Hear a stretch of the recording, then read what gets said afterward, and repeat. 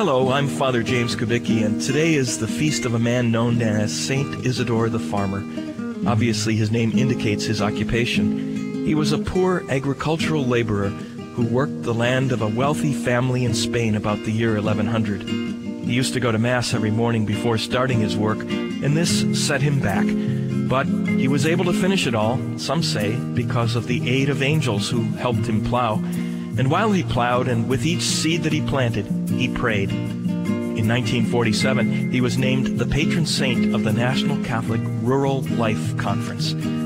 Let's pray now for all those who labor on the land in our country, for farm families, especially those caught in the economic crisis, and for migrant farm workers. The following prayer was adapted from the National Catholic Rural Life Conference's website. God, our Creator, the earth returns greatest honor to you when through human care and labor it brings forth an abundance of food to meet the needs of people today and for generations to come. Help all agricultural workers to hold fast to the spiritual values of their vocation and to prevent the materialism of this age from blinding them to those values.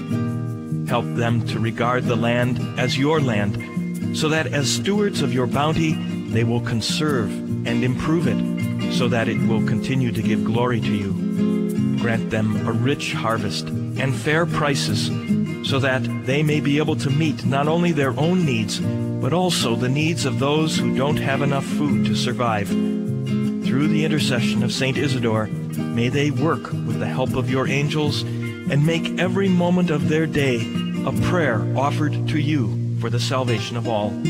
We ask this in Jesus' name. Amen.